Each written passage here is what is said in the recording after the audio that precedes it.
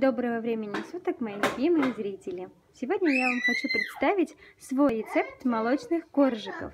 Нам понадобится мука, молоко, яйцо, сахар, масло сливочное растопленное, э, разрыхлитель и я взяла имбирь. Вот э, это тот самый ингредиент, который я добавляю в свой рецепт. Этот рецепт я разработала сама. Теперь нам нужно нагреть молоко вместе с сахаром, но не доводить до кипения. В кастрюлю отправляем молоко, добавляем сахар, перемешиваем до полного растворения сахара.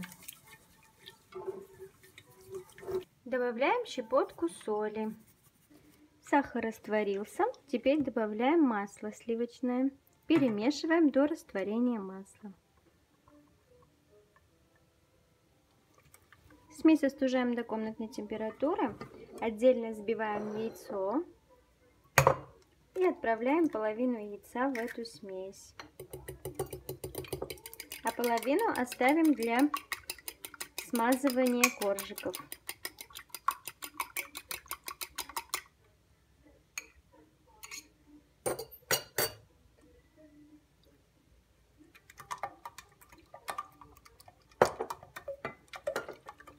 Сюда отправляем разрыхлитель,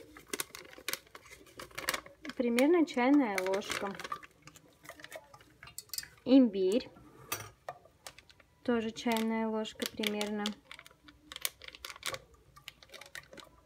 И постепенно добавляем муку.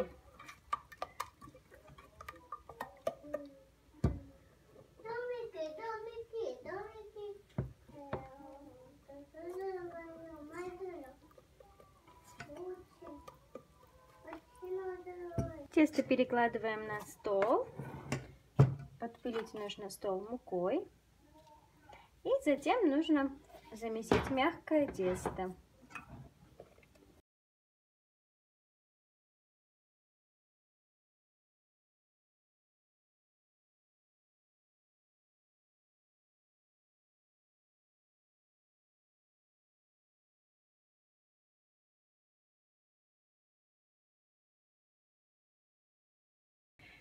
Тесто должно получиться таким мягким и нежным. Долго вымешивать не нужно. Пока оно теплое, кажется, что липкое. На самом деле, как остывает, уже ничего не липнет.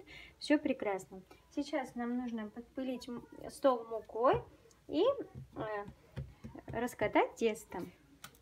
Сверху тоже нужно подпилить мукой и раскатываем толщиной примерно до 1 сантиметра, чтобы они у нас получились мягкими.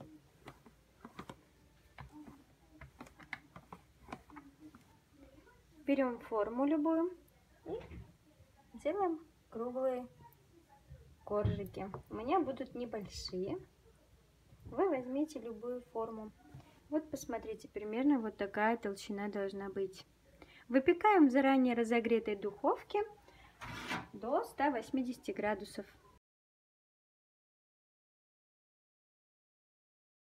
В оставшееся яйцо добавляем немножечко молока смазываем коржики.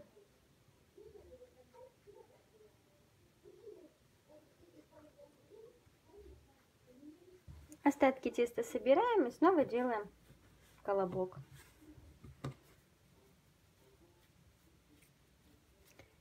Также раскатываем и выпекаем. Вот такие милашки получаются.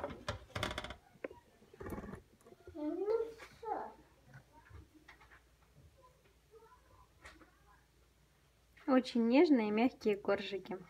Очень напоминают детство. М -м -м. Обязательно попробуйте по моему рецепту.